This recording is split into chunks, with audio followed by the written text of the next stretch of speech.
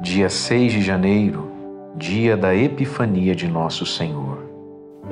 A palavra Epifania significa manifestação e passou a ser aceita universalmente por toda a Igreja a partir do fato de Jesus Cristo ter então manifestado aos olhos dos homens a sua divina missão pela primeira vez. Nesse dia, uma miraculosa estrela revelou o seu nascimento aos reis do Oriente os quais, apesar das dificuldades e perigos de uma longa e tediosa jornada por desertos e montanhas quase intransponíveis, apressaram-se de imediato a Belém para adorá-lo e oferecer presentes místicos a ele, o Rei dos Reis, o Deus do céu e da terra, e também um homem frágil e mortal.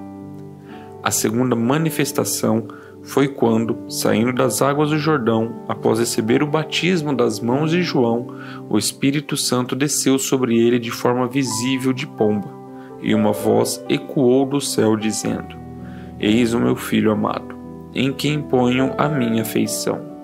A terceira manifestação foi a do seu divino poder, quando nas bodas de Caná transformou água em vinho, o que levou os discípulos a crerem nele a lembrança desses três eventos concorrem para o mesmo fim. Quis a igreja celebrar em uma única festa. Reflexão. Admiremos a onipotência desse pequeno menino que, desde o berço, faz conhecer sua vinda aos pastores e magos. Aos pastores por meio de seu anjo, aos magos por uma estrela no Oriente. Admiremos a docilidade desses reis. Jesus nasceu e ei-los ali, a seus pés. Sejamos pequeninos e nos ocultemos, e a divina fortaleza nos será concedida. Sejamos dóceis e dispostos a seguir as inspirações divinas, e então nos tornaremos sábios da sabedoria de Deus e poderosos por sua onipotência.